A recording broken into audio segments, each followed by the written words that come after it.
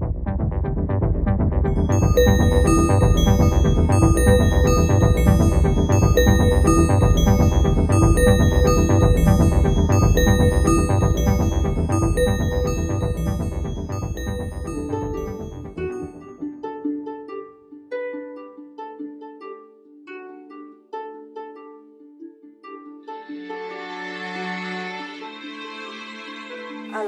M'appelle Odette Le Prince, je suis née à Boulon. C'est pas d'hier, c'est de 1927. Alors, voyez un peu mon âge. J'en suis très fière parce que je débrouille toute seule. J'habite pas loin, là, à 11 rue d'Ao, et j'ai connu bien des gens à Boulon, bien des familles. Je m'appelle Marie Vonoulier, je suis née à Boulon. Euh, j'ai passé ma, quelques années à Rennes pour mon activité professionnelle et je suis revenue en retraite à Boulon, dans mon pays natal. Euh, je m'appelle Manuela, j'ai 38 ans, euh, je, je suis angevine à l'origine et j'habite à Boulon depuis 5 ans. Vous êtes né à Boulon et vous êtes né où à Boulon? À la Chénuelle. C'est un village qui se situe euh, à la limite de Saint-Urial. Et alors, euh, j'ai grandi quand même là. Ensuite, je suis allée travailler à Rennes. Je tenais un commerce euh, pendant 45 ans. Donc, voilà. Riven, vous êtes né où à Boulon Alors moi je suis née aux Zourmes, c'est un village tout près du château de la Mus et de la forêt, sur la route de Saint-Urial. On, on va parler de la campagne et de l'évolution de la campagne, de la manière dont vous avez vu évoluer la campagne. En fait. La campagne à l'époque, c'était c'était pas drôle. Hein, c'était enfin, c'était pas drôle. Les gens étaient heureux comme ils étaient, je pense. Euh, évidemment, on ne roulait pas sur l'or. hein. Mes Mhm. parents étaient étaient agriculteurs. Avez-vous le souvenir, par exemple, de l'arrivée de, de l'électricité? Ah oui, ça oui, oui, oui, oui, oui. Oui, je n'étais plus à Boulon à ce moment-là. Je travaillais déjà, j'étais déjà travaillé à Rennes, mais ça a été une sacrée évolution, ça. Vos parents habitaient toujours Boulon? Mes parents, à l'époque, euh, à à l'époque, oui, mon père a vu l'électricité. Arrivé à, Bo- arrivé à Boulon, on est bien Arrivé d'accord à Boulon, ben, euh, euh, j'étais pas là, mais euh, quand euh, ils m'ont raconté que l'électricité était là, moi je leur ai dit, ben, c'est très bien, on va vous emporter un télé. Et vous-même vous- Moi aussi, j'ai vu l'arrivée de l'électricité euh, dans, dans la ferme euh, où habitaient mes parents. Je me souviens, écolière, avoir appris mes leçons euh, à la lumière de la lampe à pétrole sur- euh, qui était posée sur la table. Ah oui, bien Oui. sûr. Ça, Mm. c'était tout- Oui. c'était tout ça. Mm. Donc c'était un bonheur incroyable à l'arrivée de l'électricité. vous, avez, vous pouvez dater à peu près? Alors là, c'est compliqué. Ah, alors là, c'était, alors attends, dans les années 50. Euh, Plus que ça, Odette, parce que j'allais à l'école euh, entre 55 et 60. Oui, je Si pense. tard que ça pour arriver à la campagne Moi, je, je situe Marivonne dans les années en 1950. En 1950, je suis sûre, je suis partie, moi, travailler à Rennes en 1950. Or, à l'époque, mes parents avaient déjà l'électricité. Oui, alors euh, parce que pendant la guerre, pendant la guerre dans la campagne, ici, il n'y avait, avait pas. l'électricité. Non, non, il n'y avait pas d'électricité. D'accord. Et sur le thème de la campagne, donc, puisque. Alors, sur le thème de la campagne, bon, ben, tout. Ah, Est-ce que vous pouvez décrire un peu euh, comment était le village de Boulon quand vous étiez euh, enfant, par exemple? Ça, vous Qu'est-ce que vous diriez? Je dirais que c'était un village, bah, euh, comme pratiquement tous les villages autour de, de, de Boulon. Ils étaient, c'était, il y avait l'église, l'école, deux écoles. Nous avions une école publique et une, école privée. Et apparemment, euh, ils ne s'aimaient pas tellement. Mais Enfin bon, on se nous, supportait. avons, nous avons déjà eu des échos. Des échos là-dessus. Euh, à Boulon, On est en Bretagne, hein faut pas se plaindre, à Boulon, on avait un instituteur la- public, mais qui était réellement un instituteur, qui prenait pas parti. C'était déjà quelque chose.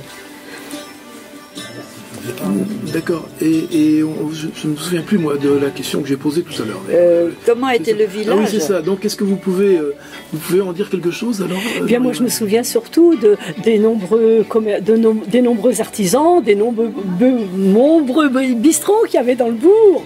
Et puis, euh, Je crois bah, tout- une toute une animation euh, villageoise. Nous Et- avions au moins une dizaine de cafés. hein. On en a parlé le jour, le jour de la. on a fait le, le, le jour du. la journée du patrimoine, on a fait le tour du bois. Oui, il y avait énormément, énormément de café à cette époque-là. Oui. Et les gens étaient très cathos à Bolon. Et, quand il y avait la, la messe le dimanche, il y avait trois messes le dimanche. Il n'y en a plus maintenant, on est trois mois sans en avoir. Mais maintenant, euh, autrefois, il y avait, il y avait trois messes. Et les gens arrivaient, euh, sortaient de la messe, mais c'était, ils, se- ils se retrouvaient tous. Parce qu'il n'y a pas de moyen de locomotion pour aller d'un bout à l'autre du village. Madame de Terline, c'est beaucoup de choses. Non, je ne sais pas plus de choses que toi. Au contraire, j'apprenais la même. Mais il y avait trois messes et la première était à 6 heures du matin. Ah, oui, Exactement. Il y avait la messe de 6 heures, la messe de 8 heures et la grand-messe à 11 heures. Ouais. Et je ne sais pas comment c'était quand c'était les petites messes, enfin les messes, euh, mais on moi, avait deux prêtres, un, le curé et l'abbé Sobos. Oui, mais même avant l'abbé Sauveau, j'ai connu quand même un autre, un, un autre, je ne sais plus comment il s'appelait, Non, moi j'ai connu que l'abbé Sobo qui était un vicaire instituteur. qui était un instituteur Oui. encore en plus, et qui était un, un- un très très très bon euh, instituteur. Toi Qui était sévère, en tout cas. Moi, Qui n'était J'étais pas très facile. J'étais chez les bonnes sœurs, donc j'ai j'ai pas de souvenir les de lui. doigts des, oui, des- il des gens sur les doigts quand les Ouais. élèves hein. avec une règle. Et moi, j'ai vu, euh, bon, ils sont décédés maintenant, mais Albert Loret, il se rappelait encore le mal que ça lui faisait parce que quand il, a- il arrivait les mains froides, et alors pas très propres, il les regardait, allez, hop, allez, allez là. Il dit, à midi, j'avais encore la, la douleur dans mes mains. Ça, tout, le- tout le monde en parle Viens de là, ça. hein. venez là, Chantal. Oui, ben, On va, on installer. on va installer- Tu es arrivé à, tu es arrivé à Bolon. euh, pourquoi en fait? Pourquoi tu es arrivé à Bolon? Qu'est-ce a a, fait? cherché, on a cherché à acheter une maison.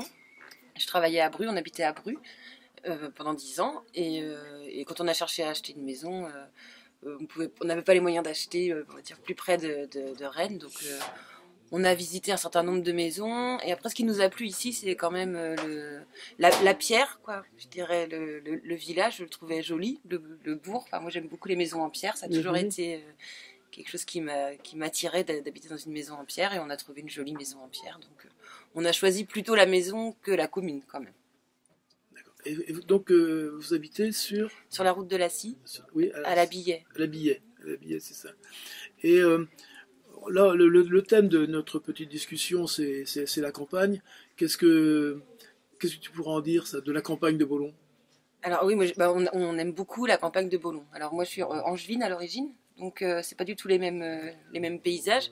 Après, j'ai grandi à la campagne, mes parents étaient agriculteurs, donc euh, je, je, voulais habiter à la campagne. Enfin, c'est mon, je me suis même pas posé de questions en fait. J'ai toujours vécu à la campagne et je me voyais pas élever mes enfants. Ailleurs qu'à la campagne. Pour moi, des enfants, ils doivent avoir un- des espaces euh, pour de l'espace pour courir, euh, jouer dans le jardin. euh, Du voilà. bon air, du grand Euh, sauter dans les flaques, dans les flaques d'égout, etc., dans les flaques d'eau. Donc, et c'est vrai que la maison où on habite, elle est située sur un espace naturel près de, près de la vallée du Canu, en fait. Et ça, c'est aussi un critère qui nous a amené à la choisir, puisque on avait envie de vivre dans un environnement sain, je dirais, euh, voilà, naturel. Euh, D'accord. Ok, très bien, on y reviendra. Madame de Terning, Oui. vous êtes vous, vous êtes née à Bolon, Euh, je suis né à Rennes. vous êtes né à Rennes, Oui. et, et vous êtes venu à, à. Mais mon père habitait Bolon déjà. Alors c'est pour ça que j'ai passé ma jeunesse à Bolon, mais euh, pas complètement. J'ai jamais été à l'école à Bolon. hein. Mes sœurs ont été, mes deux sœurs ont été à l'école de Bolon, mais moi pas. On n'allait pas à l'école. C'était plus simple. D'accord. Et après, je suis parti à Paris. Mais à- en retraite, on est revenu à Bolon. Parce que mon mari était, a restauré une vieille- un vieux manoir qui nous avait été donné par mon père. Et qui, est, qui baignait même dans l'eau. Parce que c'était un ancien, autrefois, c'était un château fort. Et maintenant, heureusement, il n'y a plus que l'aile qu'on a restaurée. C'est suffisant. Et hein. plus d'eau. Ah, si, il y a de l'eau. Ah, Encore. si, si, si, si. Mais il ne baigne plus dans l'eau. Si, si, Si, Ah, si, si. si, c'est un très bel endroit. Il y, a, voir. il y a toujours euh, deux murs dans l'eau. Oui, oui. D'accord. Et Voilà. alors, moi, je- on va poursuivre un tout petit peu avec vous. Et, et ça fait combien de temps que vous êtes revenu à Bolon alors maintenant? Oh là là, je suis incapable de vous dire. vous savez, Alors là, moi, Autour du- Quand vous êtes marié. 10 ans Ah, Oui, mais non, non, non, non, non, mais attends, on a habité Saint-Brieuc, on, on a habité Rennes, donc euh, on a bougé quand même. hein. mais, mais vous êtes installé à Bolon depuis euh, combien, en gros euh, Bah, en 20 gros, ans, euh, 30 ans. 30 ans. une trentaine d'années Oui, oui, mais on revenait régulièrement. Hein. Moi, je, je revenais chez Je mon père. toujours Hein. vu. Oui. Je vous ai toujours vu. Ah bah, tous les week-ends de Saint-Brieuc, on revenait tous les week-ends euh, euh, à, à Bolon, pour ainsi dire. Et vous avez vu cette campagne de Bolon évoluer? Oui, oui, et ce qui me fait très, euh, très, je trouve ça très triste parce qu'il n'y a plus assez d'agriculteurs maintenant. Et ils tirent dur. Ils n'osent plus maintenant, ils, ont, ils sont mal à l'aise, hein. C'est surtout ça. De ce qu'il y en avait. oui. Oui, Bah, dans notre enfance, c'était des, des petites exploitations qui, Oui. qui parsemaient le territoire partout. hein. Il y avait de la vie, il y avait de la Il vie. y avait de la Tu vie. es Il y Et avait des familles nombreuses. Oui, et des- donc, une euh, vie de famille oui. qui n'existe plus maintenant. Maintenant, on ne se connaît plus. On se croise en voiture. C'est pour ça, je dis, à la, à la sortie des messes, c'était vraiment, fallait voir, fallait entendre les, les Oui. gens qui se, qui se parlaient entre eux. Tu, tu, ah, t'as- pas connu ça? C'est vrai, ils allaient tous au bistrot. Oui, les bistrots autour de oui. l'église étaient pris d'assaut à la sortie des messes. hein. il y avait d'abord le, le, le garde champêtre qui donnait les Les informations. ting ting ting là sur le, le, le, le- le tambour et qui donnait les informations, enfin celles qui étaient vraiment qu'on pouvait considérer comme des informations quand même, hein, Oui, que c'est vrai. Euh, Oui. Et alors, quand c'était fini, toi, coup de tambour, et tu voyais une envolée de gens qui allaient euh, au café en face, à la geôle. les, hommes principalement, Oh, les femmes aussi. les femmes aussi. Ils allaient boire leur café. Oui, mais elles allaient ensemble. Ils Oui. allaient ensemble. Les hommes allaient ensemble et les femmes allaient ensemble. Ah oui. Oui. oui, oui, C'était oui, pas oui. les mêmes conversations. Pas du tout. Ça n'était pas mixte. Non, mais c'est- très net, ça, ce truc-là. c'est Oui, net, oui, oui. c'est c'est- vrai. c'était- pas mix, non, comme vous le dites bien. Parce que maintenant, dès le, dès le berceau, on les met ensemble. Euh, ah oui, c'était. Donc vous avez connu la geôle, vous avez connu la geôle, toujours connu la geôle ici. Oui. Qui était oui. une ancienne prison. Parce que euh, moi, j'ai connu quand même les foires à Bolon, les marchés. Il y avait la, la foire tous les, les premiers mardis du Du mois. mois. C'est ça, Marie Oui, c'est ça. Tous les premiers mardis du mois, il y avait la foire. Alors, les gens amenaient leurs bestiaux, si c'était à vendre, acheter autre chose. Et il y avait des marchands forains qui venaient pour les, les fringues, euh, les chaussures. C'était c'était vraiment... euh, Oui, mais il y avait même un tailleur à Bolon. Il y avait un tailleur. oui, parmi les artisans, oui. Oui, oui, oui. Oui. Il y en avait même deux. Parce que euh, tu, as tu, as, tu as bien connu Aimé Piel, qui était dans la maison où est Myriam Oui, maintenant. oui, oui. Eh bien, son fils était tailleur À Bolon à Bolon. Ah, je l'ai pas Et, et- et après, et moi je suis sûre parce que quand j'étais, quand je travaillais à Rennes, je savais où il était. D'accord. Alors tu vois, euh, il y avait donc ça. Il y avait Victor Collin. Ah non, pas comme tailleur. Ah si. Il n'était pas tailleur lui? Non, non, non, non, non. Il y avait comment Mais c'est sur la plus- sur la place de la Noé, il y avait Louis Margard qui était tailleur. Il y avait bah, devant l'église comment euh, Aimé Barthelin avec sa petite boutique. Ah oui, mais elle n'était pas tailleur homme. elle était coutu... Ah oui, Elle était couturière et marchande de fringues, de, tissus. de, de tissus plus que de fringues. De tissus, oui. Alors donc, c'était encore... une- euh, Elle, elle, elle habillait pas les hommes. Quand mon père, euh, quand il a marié son filleul, euh, c'était le- Marga sur l'anneau, oui, C'est à ce que je l'époque. Parce que la place de l'anneau, c'était une place où on a même fait des feux d'artifice. Le, le- le soir des fêtes de Bolon. Voilà. Et les reposoirs pour la fête Dieu, d'énormes des- reposoirs Ah oui. pour la Ah fête oui, mais Dieu sur la attends, place on est dans, dans, dans le laïque, là. Oui, quand c'était la fête. Ah oui, mais ça faisait partie de la vie de qui- Et, euh, quand, Tu parles de feu d'artifice. oui, oui, je- oui, parce que c'était mon patron qui l'avait fait. Alors donc, j'étais, c'était le, le jour d'une fête de Bolon. Je sais pas ce que c'était. On avait beaucoup de fêtes à Bolon à l'époque. En- Oh, bah si, elle dit arrête. Euh, on a, Ben quoi, quoi, raconte on- bah si, les fêtes de Bolon, c'était, c'était vraiment magis- c'était magistral quand même Mhm. un petit peu. Évidemment, il y avait aussi les fêtes religieuses. Qu'il y avait la fête Dieu. Et là, euh, il y avait- il y avait des reposoirs, au moins trois reposoirs à. Mais, Hein euh, Et alors, les, les- les- la semaine d'avant, les enfants des écoles allaient ramasser des, des- des fleurs sur les, les- dans la campagne. Et alors, euh, euh, on épluchait tout ça euh, à- euh, les derniers Pétales. jours à On l'école. gardait les pétales. Oui, on gardait les pétales et on faisait des très jolies décorations sur la route. Moi, j'ai, j'ai- je crois encore avoir des photos de ça. C'était, c'était magistral. Les hommes allaient couper des, des sapins dans la forêt de Oui, monsieur. des branches, des branchages, des branchages. Oui, des branchages. Oui. Et, et du où tous les, partout où la procession devait passer, les, les rues étaient décorées. Il y avait même un chemin. Il y avait un chemin sur avec la du route. marc de café. On apportait Oui. le marc de café à l'école pour Voilà. faire des décorations. C'était, mais c'était, euh, on, on- on- on faisait voir aux jeunes qui nous, on était gamins quoi. Eh bien, c'est vrai que ça nous est resté dans la tête, hein, Oui. parce que il fallait pas que les voitures passent, il fallait pas qu'il fasse du grand vent non plus. S'il y avait du grand vent, on, on arrosait comme ça. De façon, est-ce que ça reste bien collé sur la route? Ben oui, parce qu'on nous disait de la sûre aussi, qui pouvait Oui, s'envoler. on La allait chercher de la sûre chez le- café. le, le- euh, le- comment, le menuisier là-bas, Salmon. Et ils nous ont donné des grands sacs d'ailleurs. Et des pétales de fleurs. Donc et des pétales de, de marguerite, de fleurs, de roses. C'était, c'était très, très, très joli. C'est dommage que nous n'avons plus ça pour la jeune génération. Parce que, Ils ont le foot, ils ont le foot, ils ont la danse. À Bolon, il y a le foot, il y a la danse. Mhm. hein. oui, mais ça n'empêcherait pas. bien. Bah, Ça n'empêcherait pas que. C'est des lieux de rencontre pour eux. Hein. chose. oui, c'est- Mhm. nous, on n'avait pas, comme on n'avait pas ça. Qui veut parler? Non, non. On va, on va- on va revenir un tout petit peu Faut, du faut côté. couper, hein, tout ce que- Oui, oui, mais de toute façon, il y a des montages. On se débrouille après. Ah oui, d'accord. Ouais.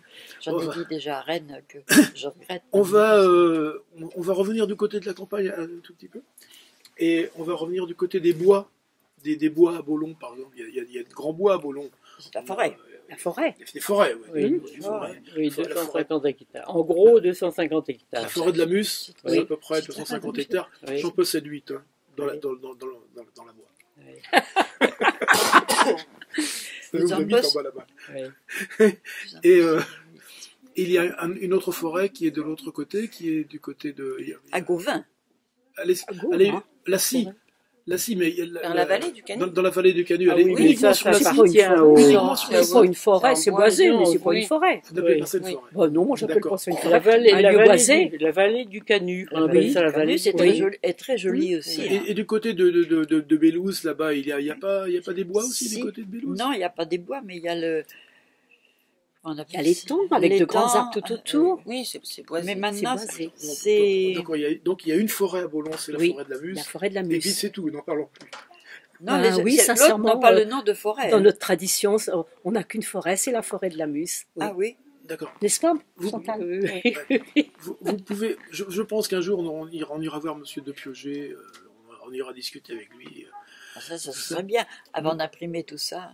Mais euh, vous, dans, dans votre enfance, est-ce que euh, la forêt de la Muse, qu'est-ce que ça représentait pour vous, la forêt de la Muse, Ah, bah, dans votre enfance quoi? Ah ben, elle qui était Moi, je peux en parler. Elle est née, on peut- elle est née dans la forêt. Parce qu'elle elle a traversé tous les jours pour aller à Tous les l'école. jours pour hein. aller à l'école. Nous À habitions pied. à 3 km de, du bourg et on venait à pied à l'école. Et donc, il fallait, d'abord, il n'y avait pas beaucoup de routes, mais il fallait trouver des, des chemins de traverse. Alors, notre chemin de traverse, c'était de contourner le château tous les jours, matin et soir, de traverser la forêt. Et on, on, on atteignait la, la, la route euh, au calvaire, qui est dans le bas de la côte de la planche. Calvaire, voilà. Et là, on, on, a- on accédait à la route et à la civilisation. Voilà. Et on montait la côte de la planche, et là on rencontrait Bertine, la lavandière, qui descendait la côte avec son son Paquet comment de linge. sa, sa Son avec son paquet de linge, sa boule de bleu, son battoir, euh, comment le Sa battoir, boîte à laver. la boîte à laver, le, le petit bois sec pour faire euh, pour faire partir le feu, et comment et elle, elle- quand elle rencontrait les, les écoliers, elle savait qu'il était à peu près telle heure puisque nous on devait être à l'école pour 8 heures, et donc là on était à 20 minutes du bourg quoi, donc ça lui donnait l'heure. Et le soir quand on redescendait, ça lui donnait encore l'heure, mais avec beaucoup de beaucoup d'écart parce que quelquefois on avait tellement traîné sur la route que c'était plus du tout un repère. Mais dites donc, pour des enfants, euh, à 8 heures le matin, à traverser la forêt de la Bah Muse, ouais. euh, c'était Ah bah impressionnant. Oui, bah, il n'y avait Non. pas des Non, on, on trouvait ce lieu-là comme un lieu enchanteur. On profitait des saisons. L'automne, je me rappelle, et l'hiver, on traînait nos pieds dans les feuilles. Ça faisait une sorte de musique et tout. Puis on était nombreux. Et les Ah toiles oui. d'araignée. Des Oui. toiles d'araignée Oui. le matin, c'était magnifique. Ah hein. oui, dans, dans le soleil levant. Oui. Ah, si, la forêt, moi, j'en garde un très, souvenir très, très euh, super de, de mon Vous enfance. n'avez, vous avez vraiment pas vu quelque chose d'aussi beau qu'une toile d'araignée que- dont la rosée est tombée Oui. dessus oui. Et que le soleil se lève. Mais j'en vois tout à fait régulièrement chez moi, madame. Oui, ils habitent. Bah oui. C'est quand on quitte Bolon tout le matin et qu'on s'en va sur la scie. Oui. Là, dans, dans les, dans, les, comment, dans les ajoncs et tout ça, les, les toiles d'araignée prises et dans les perles de rosée, Ah oui, comme ah tu oui, dis, ah. Odette. oui. Ah, les perles, la, Quelquefois, la on pèse rosée pour qui se lever, mais dessus, après, on est content C'était d'avoir vraiment, vu ça. ma- je trouve ça drôlement bien, beau. Et vous, et vous, vos souvenirs de la forêt de la Muse, c'est un peu les mêmes que Alors, celles euh, de madame oui, mais enfin, euh, oui et non, euh, parce que à la fin de, à la fin de leur vie, mes parents ont été euh, travailler à la basse-cour et on habitait dans le vieux château, Oui. dans le- qui maintenant est devenu un beau manoir. oui. Alors, euh, ce vieux château, c'était très bien parce que euh, à l'époque, on on n'avait pas le tout à l'égout et alors. Quand nous étions au château, on avait le tout à l'égout. Ça partait directement dans les temps. C'était super. Ça, ça- ça, c'était, c'est ce que je trouvais. Comme ça, vous nourrissiez les poissons. Mais Oui. chacun son Oui, et puis alors, non, mais de toute façon, on n'y jetait pas des, des- des- n'importe quoi. Mais euh, par exemple, l'eau de vaisselle, elle partait dans l'étang. Il est tellement grand que. euh, et puis ça coulait. L'étang, il s'écoule à- à aller, je ne sais trop où, moi, sur Bélouse. Sur, sur Bélouse, oui, sur Canut. Mais vous-même, vous-même pour aller à l'école, vous deviez aussi euh, traverser. Euh, euh, ah, non, j'ai pas été à vous l'école de la été- Mus. Moi, j'étais à l'école quand mes parents étaient, un- ils étaient à Montmusson avant. Ça, ça donnait sur le grand, ça donnait auprès du Grand Moulin, dont j'ai fait le, le, le- le- avec qui? Je ne sais plus avec qui j'ai fait. habiter, vous habitiez Oui. au-dessus du Grand Moulin. Oui, qui a été, l'époque. qui a Mm. été bombardé. en juin 44. c'est Voilà, en juin 44. oui, Mm. j'avais dit 45. moi. Juin 44. Il y a une, une dame hein, qui est décédée. Je. La meunière. La meunière qui était enceinte, qui était prête à accoucher, et tout est mort. Et les deux garçons, Trois, trois, trois. Il y avait Trois enfants. oui, mais Jules, le petit, Jules n'avait ri- rien, mais les deux autres étaient réellement commotionnés. Heureusement, ce qui les a sauvés, c'est qu'une armoire est tombée. Alors l'armoire étant tombée, ils se sont euh, tapis dedans jusqu'à ce que les, les gens viennent les, délivrer. Ils les ont ramenés chez nous et ils ont été assommés toute la journée. Ils ne parlaient pas. hein. Mais alors, bon, ça c'est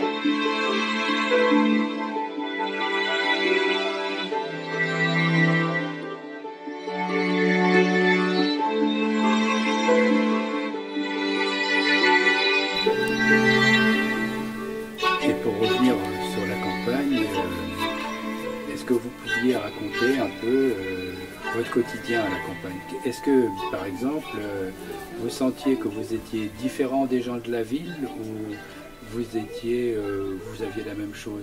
La ville vous attirait Mais la- non, mais attendez, attention, à l'époque, ils n'allaient pas en ville, les gens. Exactement, on pouvait, on On- n'avait on même pas de pas. comparaison. On connaissait Mais pas la connaissait Ils n'avaient pas de ville. voiture pour aller en ville. On ne connaissait que notre environnement. On sentait un petit peu différent des filles du bourg, qui étaient les filles des, des artisans commerçants. Oui, qui avaient une vie plus facile que nous, qui avaient des trottoirs déjà, alors que nous on arrivait à l'école avec des, des chaussures crottées comme tout. Mais c'est bien la vrai, seule nuance qu'on sentait. Hein. Oui. Elle n'est pas si grande Oui. que ça. Oui, moi je m'en rappelle. On- euh, les- mes plus grandes copines, c'était les filles euh, Trelhuyer, là. Madeleine, euh, bon, ben, on ne faisait pas tellement de différence. hein. Ils, ils étaient comme nous, hein, leurs parents ne, brillaient pas sur l'or, quoi, c'est tout. À l'époque, les gens n'avaient pas de. Un, grand c'est vrai, on- il n'y avait pas d'argent, ni les uns ni les autres. Même pas les petits commerçants, c'était très bien dur à hein. Oui, ce que je voulais dire, c'était euh, par rapport à Rennes, par exemple. Non, Ah on oui. on n'avait aucune idée de ce qu'était Rennes. Euh, On vivait donc. Non, Non, moi j'avais pas. j'avais- aucune idée de ce j'avais qu'était été deux, trois fois, moi, parce que j'avais le frère à papa Théodore, il était, à, il était, à, il habitait à Rennes et mes cousines étaient à Rennes. Alors on prenait le petit train à ce moment-là à Saint-Urial, le Ah bah taco. oui. petit à côté de Saint-Urial, on n'avait aucune communication. hein. Sinon, d'aller à, à pied à Saint-Urial et de prendre le train.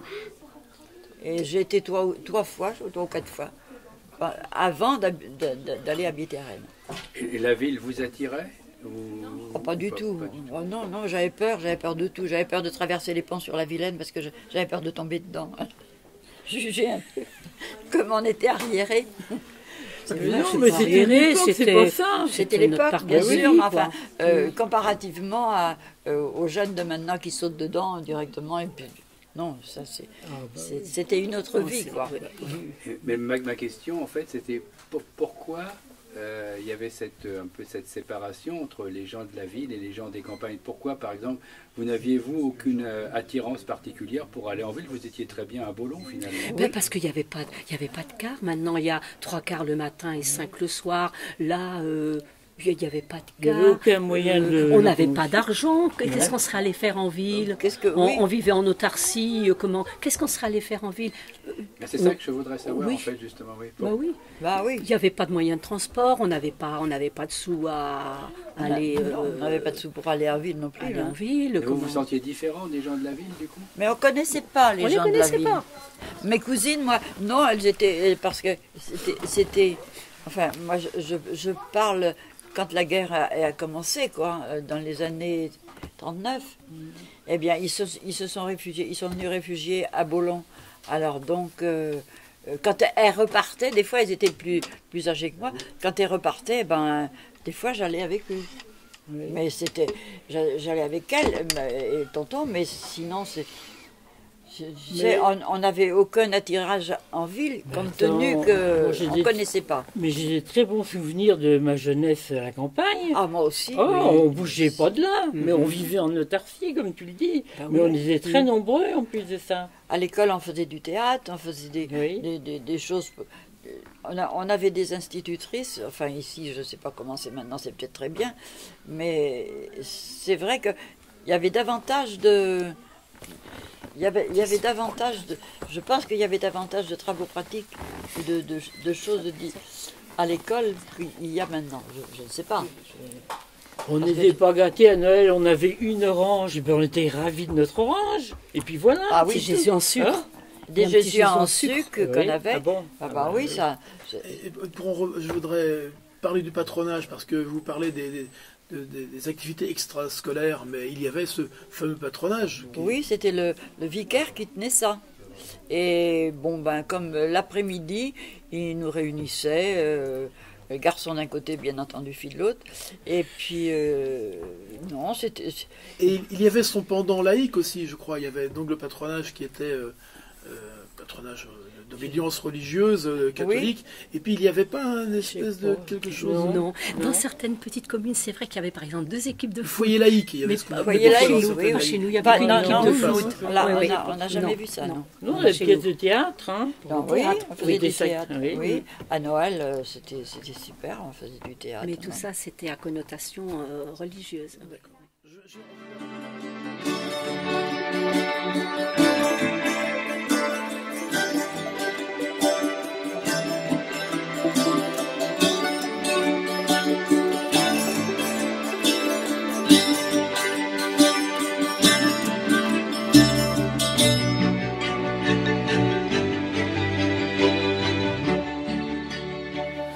N'était pas du tout la même que maintenant. Hein. non, non, c'est pas comparable. C'est vrai. C'était dans l'immédiate après-guerre. C'est vrai que les, les- comment Même avant-guerre, la, hein, vie- la pour toi, oui, mais moi c'était l'immédiate après-guerre. C'est vrai que Voilà. tout le monde trimait dur. Hein.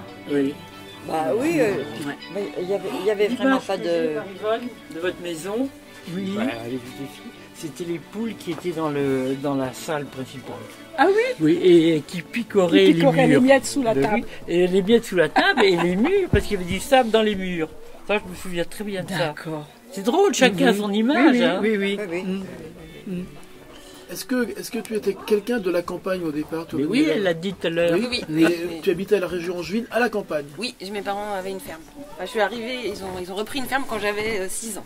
Jusqu'à 6 ans, j'ai vécu en HLM, dans une petite ville de 7000 habitants. Et à 6 ans, ils ont repris la ferme de, de mes grands-parents, et donc je suis partie habiter à la campagne. C'est un petit peu ce qui t'a Alors, ce qui est pour- paradoxal, c'est que j'ai pas. oui, j'ai pas été contente de partir à la campagne quand j'avais 6 ans. Puisque j'avais grandi euh, dans un HLM et euh, bah, j'avais plein de copains forcément Voilà, autour de oui. moi. Mhm. Et donc partir à la campagne, c'était s'isoler. Donc euh, je, me rappelle que j'étais très triste de quitter la ville. Et puis après, euh, par contre, j'allais quand même beaucoup. euh, j'avais d'autres oncles et tantes qui, avaient des fermes, donc j'avais quand même l'habitude aux vacances, etc. De, dire, de grandir à l'air libre. De, on faisait l'été, on faisait des radeaux sur les mares. on jouait dans les boîtes de foin, enfin avec mes cousins. Donc je, voilà, j'ai quand même vécu cette, cette enfance à la campagne, même avant d'arriver à la ferme de mes parents. Et, euh, et donc après, ça, bon, très, très vite, c'est de- c'est redevenu complètement naturel d'être dans cet environnement euh, campagnard. Et à tel point, c'est vrai qu'adulte, je ne me suis même pas posé la question en fait. Est-ce que, est que j'habite en ville ou à la campagne? Ça n'a pas été une question pour nous. C'était certain qu'on allait aller habiter à la campagne. Et pourquoi euh, faire le choix de la campagne aujourd'hui hein, par rapport à la ville du coup Oui. alors? Alors, oui, pour moi, c'est ce que je disais, les enfants, ils, pour moi, il faut- ils doivent, enfin, pour grandir, ils ont besoin de, De courir, euh, voilà, de, De- liberté, c'est ça, de nature, quoi, de... Et, voilà, je, je, me, je me verrais pas du tout, euh, voilà, avoir des enfants euh, sans avoir l'extérieur, en fait, accès à l'extérieur, leur, leur donner la possibilité, oui, c'est ça, d'être à l'air libre, quoi. Et l'attrait de la ville euh, vous manque pas du coup Alors, euh, il se trouve qu'entre temps, puisque du coup, enfin, pour le coup, on habitait à Bru quand on est arrivé, euh, quand on est arrivé par ici, on avait quand même accès facilement à, à tous les commerces et à tous les services, et que finalement, ça a été plus difficile que ce que je pensais que d'habiter à la campagne. Finalement, euh, voilà, arriver à Bolon, ça a été, euh, ça a été s'éloigner euh, des- du supermarché, s'éloigner du travail, euh, s'éloigner des premiers services. Et, euh, et, fina- et finalement, alors j'apprécie beaucoup mon environnement de vie, mais je trouve quand même que ça, ça, ça complexifie la vie. Alors on fait tout en voiture, on est tout le temps dans sa voiture. Voilà. c'est- Ça, c'est une contrainte. Enfin, en plus, avec des enfants, il faut toujours euh, Oui. les habiller, les, les monter, les attacher, les détacher. Donc euh, tout est, euh, voilà, tout est un peu compliqué. Donc euh, finalement, j'ai un peu mal vécu euh, les deux trois premières années euh, de vie à la campagne. Et puis là, comme ils grandissent, qu'ils deviennent plus autonomes. Bon, après, euh, c'est difficile de les balades en forêt qu'on a pu faire, euh, voilà, quand ils étaient tout petits. euh, Bon, c'est des, c'est des super souvenirs. Donc je saurais pas euh, dire est-ce que ça a été plus de contraintes ou plus de bonheur, mais finalement, il y a eu plus de contraintes que ce que j'avais euh, envisagé en tout cas, Oui. en choisissant d'aller vivre à la Ah, campagne. ça, je vous comprends tout à fait. C'est vrai, c'est beaucoup plus dur de vivre à la campagne finalement. faut plus d'énergie, je pense. Oui. Mais oui, parce que euh, on est tout le temps dans sa voiture, on n'a même plus le temps de se promener. Et puis les enfants grandissant, eh ben, ils ont vo- envie de voir leurs copains, donc faut tout le temps les emmener à droite et à gauche. C'est plus du tout la même vie. Hein. Non, pas du tout, du tout, du tout. Et, et vous avez, et tu as bien investi la campagne de Boulogne. Quand on dit investi la campagne de Boulogne, je veux dire, est-ce que euh, vous vous promenez dans la campagne de Boulogne Est-ce que Oui. vous connaissez bien le territoire? Vous commencez à connaître le Alors, territoire? nous on est quand même resté, on reste beaucoup dans notre euh, dans notre vallée du Canu, puisqu'en fait de chez nous on y accède, euh, Oui. on y accède de facilement euh, à vélo, à pied, donc on va régulièrement se promener au, au petit pont de pierre. Alors je sais pas si on l'appelle comme ça, je sais pas Oui, si- oui, c'est bon, ça. Pierre. Euh, et dans cet environnement-là, oui, on fait beaucoup de Ah. balades, mais c'est vrai qu'au finalement, on est venu récemment se promener dans la forêt du, du bourg. Et on était depuis, Qu'est-ce que tu appelles la 5 ans. forêt du bourg Euh, alors, quand, euh, comment dire, La forêt d'Amus La forêt d'Amus, ouais. C'est la rue des connais par la rue des Saint-Urial. Voilà, donc nous on s'est garé euh, vers derrière le terrain de foot. Et puis après on s'est baladé dans cette forêt. Et ça on a fait ça cette année là, alors qu'on n'était jamais venu dans cette, dans cette partie-là. on il, y a, restait il y a de belles, euh, il y a de belles promenades à faire dans Oui. la forêt. hein. Elle est très jolie C'est- aussi. mais Il ne faut pas détériorer quelque chose parce que, alors là, il pas de chien, pas de. Et il est très, très sévère, monsieur Dieu- de. Attention. Euh, Non, mais si on aime la C'est nature. normal. euh, C'est normal. Oui. Il faut entretenir après. Hein. ouais, ouais, à l'époque de Noël, quand vous voyez les gens qui vous coupent les arbres les, de Noël, les, les petits sapins euh, en pleine euh, évolution, là, euh, c'est tout de même pas. entre autres, entre autres. Entre autres, oui. oui. Oui, c'est- pas. c'est- C'est pas. Donc, voilà, donc euh, en fait vous avez quand même bien investi le bourg, la campagne et tout ça, vous commencez à connaître. et- Oui, oui, on, en tout cas on, a- on apprécie vraiment. euh, Boulon. oui, voilà, enfin, Au cet environnement, cet Canut, environnement êtes, qui est bah, le, le- le fait que ce soit vallonné. Enfin, moi je trouve que Ouais. qu'on soit dans les alentours, on, a, on se c'est- plombe. a- surtout euh, du côté de la vallée du Canu. C'est vraiment elle est magnifique. c'est magnifique. Super magnifique. super. Et puis les Landes, c'est vrai que moi c'est une campagne que je connaissais pas du tout. Alors euh, au début, ça me, disons que j'aurais attendu peut-être quelque chose de plus fleuri, plus vert, etc. Ah. J'étais pas habituée à la pierre, euh, à la bruyère. La euh, ça pique. Oui, voilà, c'est ça. Je trouvais ça un peu hostile. Et puis finalement, ce côté sauvage, euh, voilà, maintenant je- je- j'adore. Je trouve ça. Il Il y a des- un, champ de papillons dans la vallée du Canu. Ils ont laissé un champ en herbe pour qu'il y ait plein de papillons. Vous avez dû le voir, ce champ. Ah ouais. Alors, je, je l'identifie pas comme ça, Ouais. mais il y a plusieurs champs. Oui, il y en a quelques-uns où il y a aussi souvent des, Ben des non. biches. Il y a des biches, oui.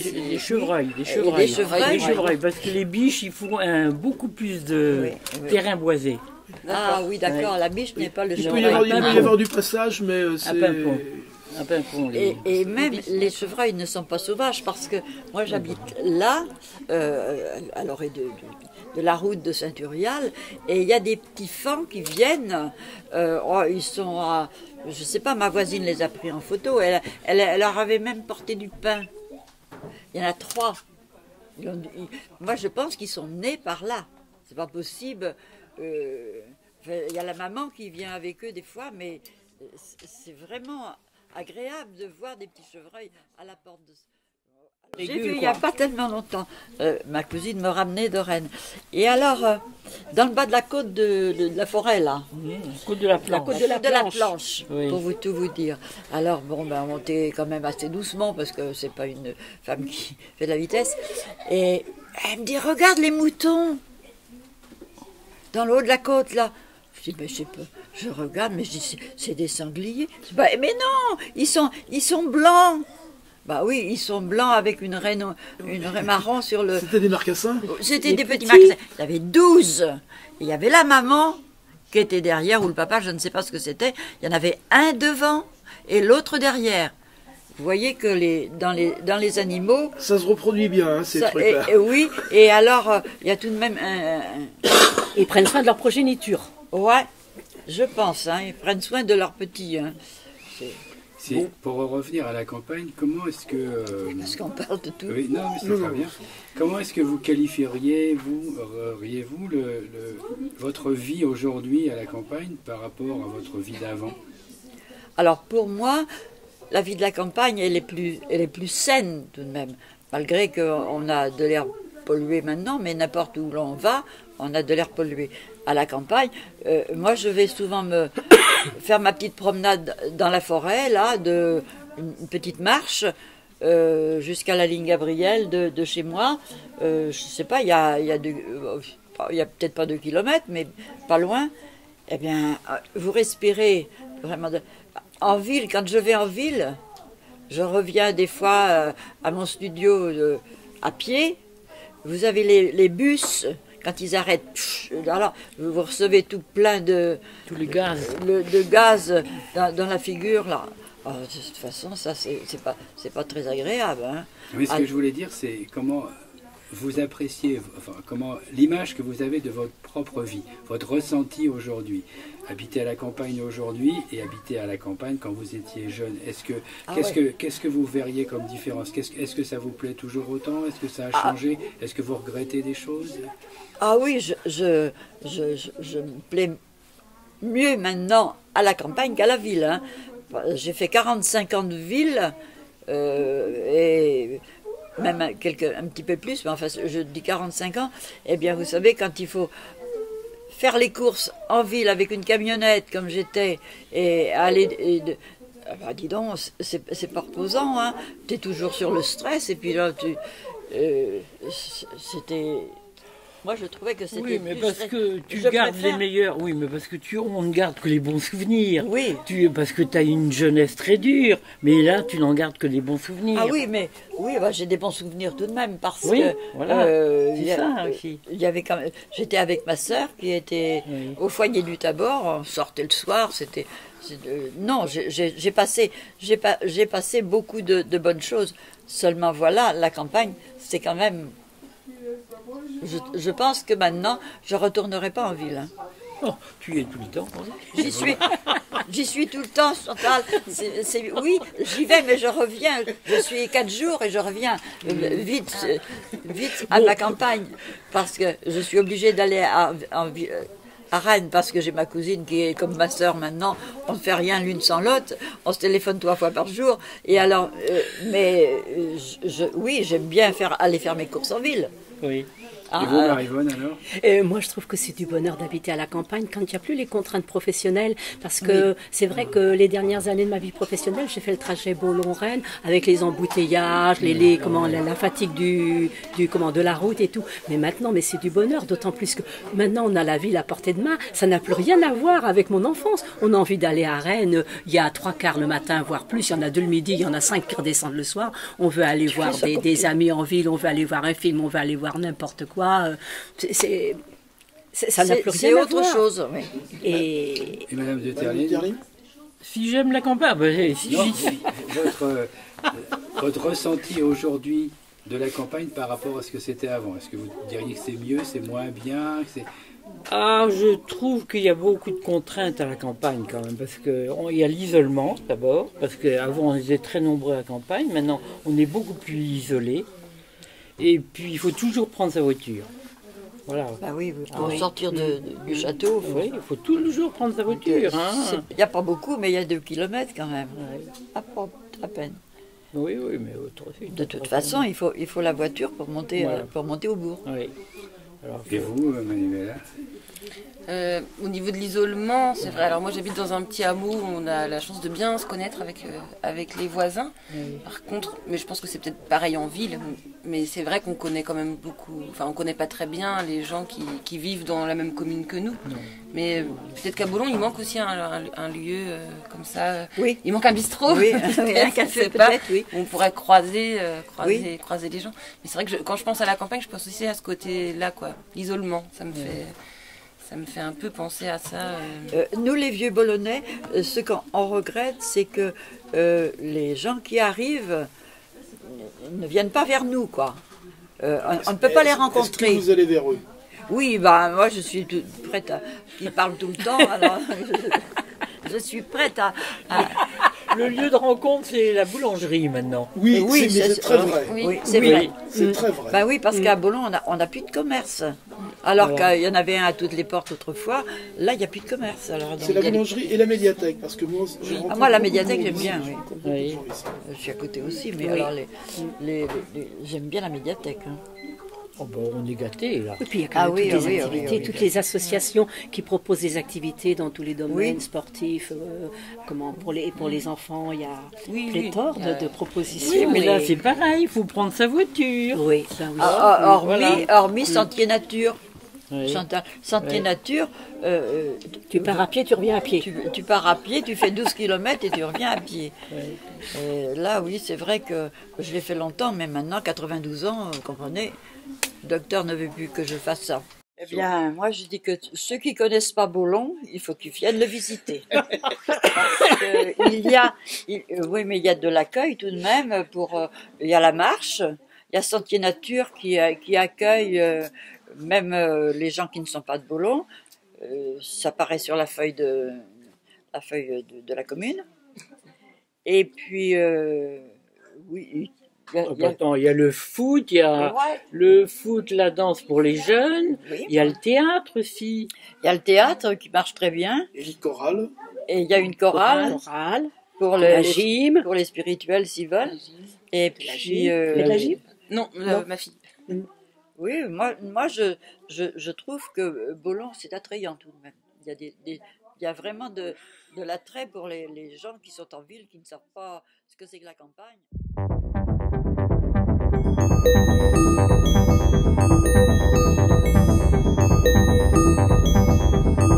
you.